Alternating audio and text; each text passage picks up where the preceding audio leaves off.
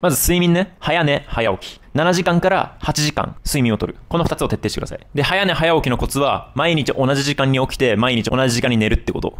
うん。最初の3日間、4日間はマジで辛いと思うけど、起きてください。朝。朝早く起きることによって夜眠くなりやすくなるから。だからまあ最初のうちは、まあ、さっき7時間から8時間寝ようって言ったけど、最初の2日間、3日間もしかしたら夜寝れないから、まあ、睡眠時間がそれ以下になっちゃうかもしれないけど、まあ睡眠リズムを整えるっていうのがめちゃくちゃ大事だから、あの、最初はそれを犠牲にしてでも早く起きてください。で、早起きするには理由が必要です。ね。朝早く起きたところで何もすることがなかったら、そもそも起きる必要がないし、起きたところで時間の無駄をするだけなんだね。うん。だから朝起きたらやることを決めてください。今、お金がないんだったら、お金を稼げる努力をしてください。副業やってください。勉強してください。今、ガリガリ、もしくはデブなんだったら、ジムに行ってください。とりあえず、朝起きて取る行動ってのを、今すぐ決めてください。睡眠において次に意識することは、寝る90分から120分前、1時間半から2時間前は、部屋を暗くして、なるべくスクリーンを見ない。これが大事な理由は何でかっていうと、人間は光を浴びることによって覚醒するから。だから夜寝る前に光を浴びてる状態だと、お前の体はまだ夜じゃないって勘違いしちゃうから。夜じゃないって勘違いすると寝つきが悪くなったり睡眠の質が落ちる。だから寝る1時間半から2時間前は部屋の電気を暗くしてスクリーンの光を見ないようにしてください。じゃ代わりにどういったことすればいいかっていうと